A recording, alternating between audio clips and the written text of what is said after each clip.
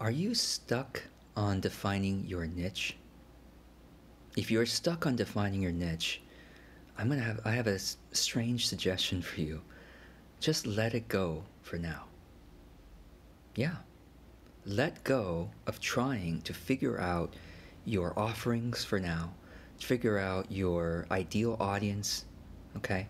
Instead, build an audience based on your authentic personality and your authentic content first. So let me explain. When you when you try to figure out your niche from the beginning, you end up investing a lot of your time and energy in in building a product or service or in uh, figuring out this ideal audience that you want to you want to reach and you become so invested in it that you lose the flexibility of what reality will give you.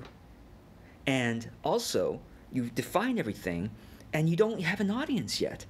And now, now that you've created your product or service, okay, you figure out this is the people that I want to give it to. Now you're trying to persuade this group of people to buy it. And it becomes it all becomes very unauthentic.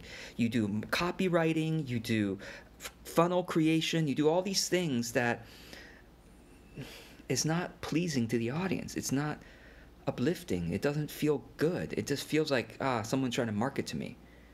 Instead, try this, okay? You show up to the world with your authentic self, sharing your whatever your passions are, sharing about things that you're interested in, things about that you've learned, sharing about you, okay?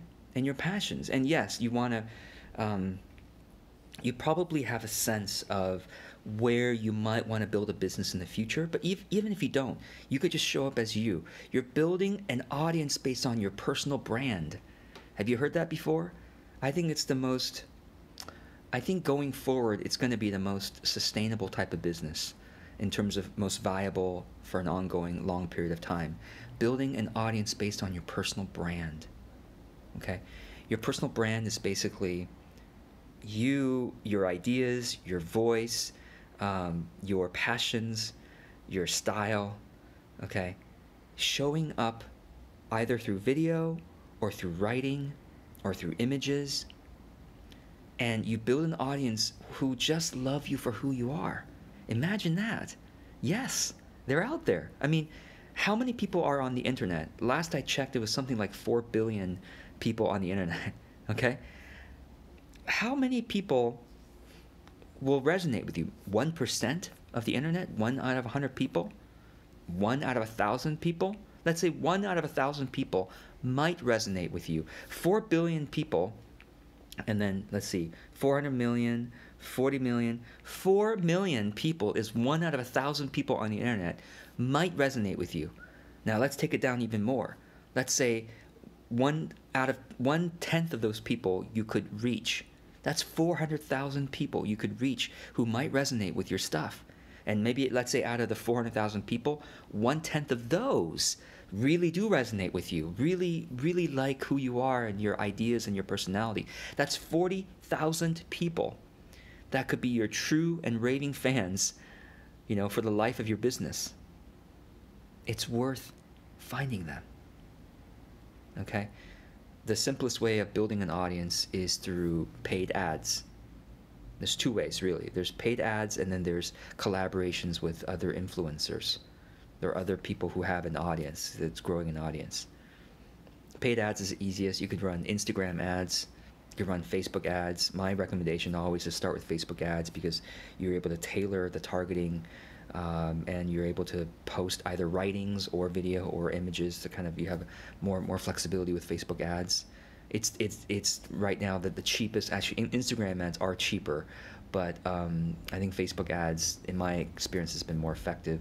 So you build an audience first of people who love just who you are, all right, and then and then you get to know your audience members either through one-to-one conversations private messaging, through phone calls, through video chats, or, or through commenting.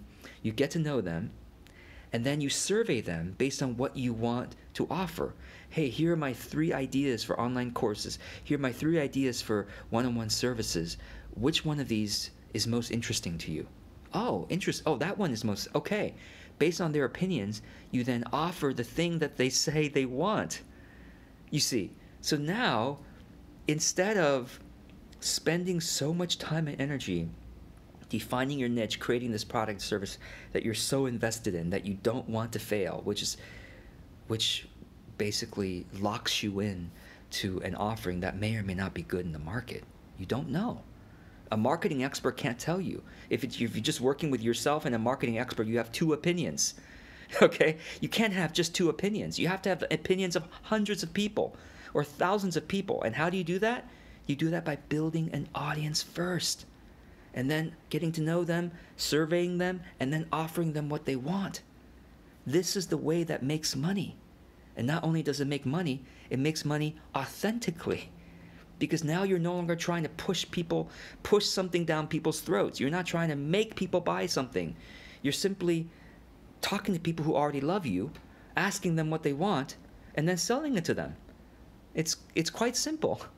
But it's not how most people do it. Most people do it by trying to figure everything out in the beginning and they do it with too little information. They don't they're not in touch with the market. And I don't want that to happen to you. So build an audience first, whether you're doing it through Instagram or through Facebook or through YouTube. Those are some of the best places to build an authentic uh, personal brand. And then you can sell what and what you what you sell might surprise you. You might be totally surprised by what you can sell.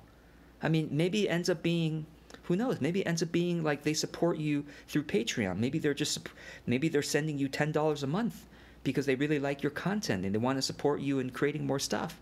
Or maybe it's creating an online course that they want or maybe it's creating a group of you know a, a sort of more premier group of people that you facilitate out of that audience. Who knows? But let it be open for now until you build an audience and get to know them and, and what they are buying what they are buying, what they're interested in buying, and from there you can take a survey and then sell them what they want. I hope this is helpful. I look forward to your comments or your questions. Have a great day.